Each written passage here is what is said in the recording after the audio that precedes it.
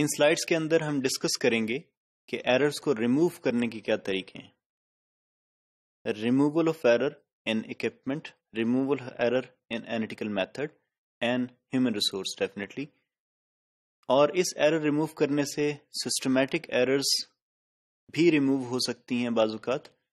کم از کم random error میں کمی ضرور واقع ہوتی ہے۔ یعنی آپ کی جو ونڈو رینڈم ایرر میں آ رہی ہے، جس سے بیس لائن کی کریکشن ضروری ہے تو اگر ہم ان چیزوں کو ایلیمینیٹ کریں تو ہماری وہ ونڈو کم ہو جاتی ہے، ہماری بیس لائن نسبتاً اسٹریٹ لائن میں کنورٹ ہو جاتی ہے۔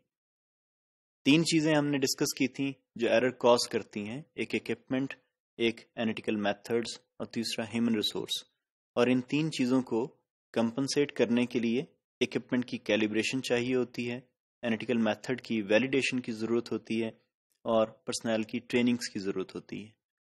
ہم کیلیبریشن کو الگ سے کوالٹی کنٹرول کے میڈول میں ڈسکس کریں گے، اس طرح ویلیڈیشن کو بھی ہم کوالٹی کنٹرول کے میڈول میں ڈسکس کریں گے۔ ابھی ہم اس کی جنرل آؤٹ لائنس کی بات کر رہے ہیں۔ Calibration of equipment calibration of analytical method using standard weight examples ہیں کہ آپ اسٹینڈرڈ ویٹ کو استعمال کرتے ہوئے اپنے بیلنسز کو کیلیبریٹ کر سکتے ہیں۔ یعنی آپ آئیڈینٹیفائی کر سکتے ہیں کہ ہمارا بیلنس اگر ایرر دے رہا ہے تو کتنا ایرر دے رہا ہے۔ اور اس پازیٹیو یا نیگیٹو ایرر کو اپنے پاس ریکارڈ میں رکھ سکتے ہیں کیلیبریشن ٹیگ پہ مستقل اس کی جگہ موجود ہوتی ہے جسے لکھا جا سکتا ہے۔ اگر نیگیٹو ایرر ہے یعنی دس ایم ایل کی pipette nine point five M L measurement کر رہی ہے، تو آپ جب بھی دس ایم ایل سالوینٹ ڈسپینس کریں، آپ اسے nine point five M L consider کریں۔ یعنی نیگیٹو ایرر ہے، تو ten minus point five M L اس کو لیا جائے۔ Calibration of pipette micro pipettes and other volumetric apparatus to S I units چونکہ والیوم ایس آئی یونٹ نہیں ہے، اس لیے ہم بیلنسز کے ذریعے اپنے انسٹرومنٹ کو یا والیومیٹرک اکوپمنٹ کو کیلیبریٹ کرتے ہیں۔ اس طرح calibration of P H meter with standard buffers P H چار پی ایچ سات اور پی ایچ دس کے بفرز عام طور پہ کیلیبریشن کے لیے پی ایچ میٹر کی کیلیبریشن کے لیے استعمال ہوتے ہیں۔ ویلیڈیشن آف اینیٹیکل میتھڈ خود ایک مستقل ٹاپک ہے۔ لیکن اس کے کچھ ایکٹ جو ہم کر سکتے ہیں، جو ریگولر لیبورٹری میں پرفارم کرتے ہیں، اس کا یہاں پر تذکرہ ہے۔ نیٹیکل میتھڈس کو چیک کرنے کے لیے analysis of standard samples standard reference materials مثلا آپ ایسڈ بیس ٹائٹیشنس کرتے ہیں تو ہم اسٹینڈرڈ ایک پرائمری اسٹینڈرڈ کو لے کر اپنے سیکنڈری اسٹینڈرڈس کو اسٹینڈرڈائز کرتے ہیں۔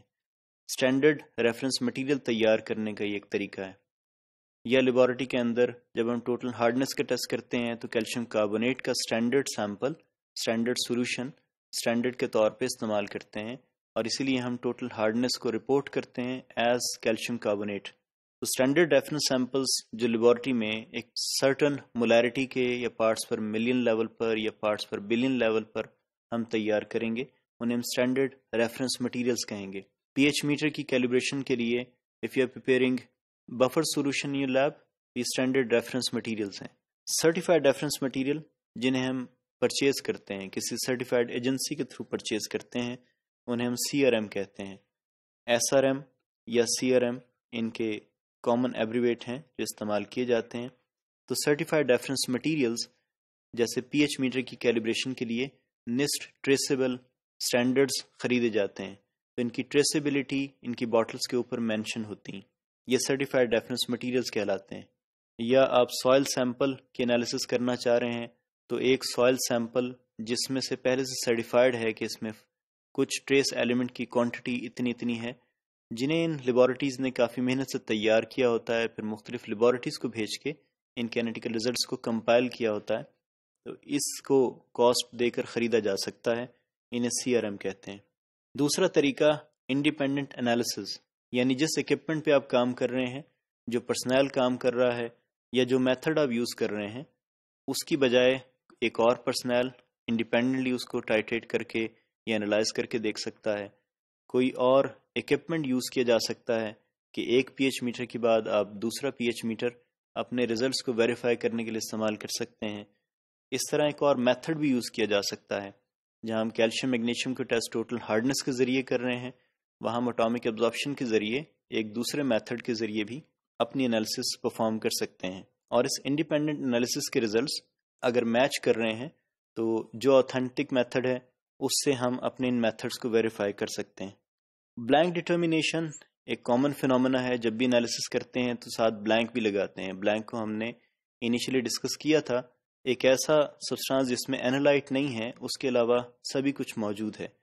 تو بلینک کی ڈٹرمینیشن کی جاتی ہے۔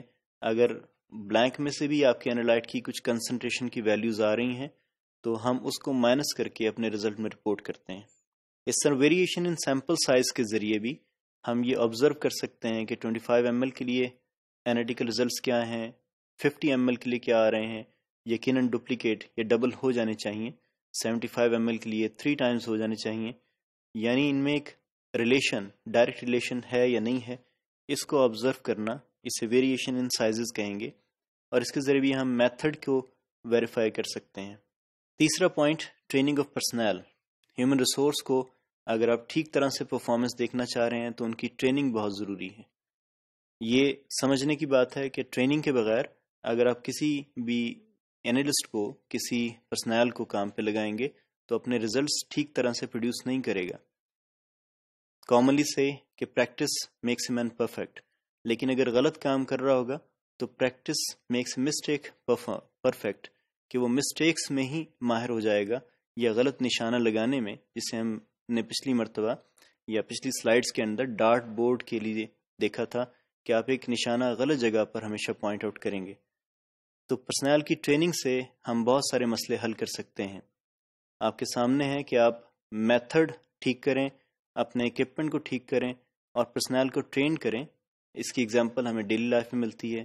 جیسا کہ پولیس کے اسٹرکچر میں آپ کو دیکھتے ہیں کہ جو ہماری ٹریفک پولیس ہے یا موٹر وے پولیس ہے کہ اسٹرکچر چینج کرنے سے، ان کے اکوپمنٹ چینج کرنے سے اور ٹرینڈ کر دینے سے آپ بہت سارے مسئلے حل کر دیتے ہیں۔ ورنہ سے سلوگنز دے دینے سے مسئلہ حل نہیں ہوتا۔ تو انالسٹ کو، جب ہم انالسٹ کو انالائز کرتے ہیں ایکٹیویٹیز کو، تو اس میں ہم ٹریننگ آف پرسنل کو ایک خاص مقام دیتے ہیں۔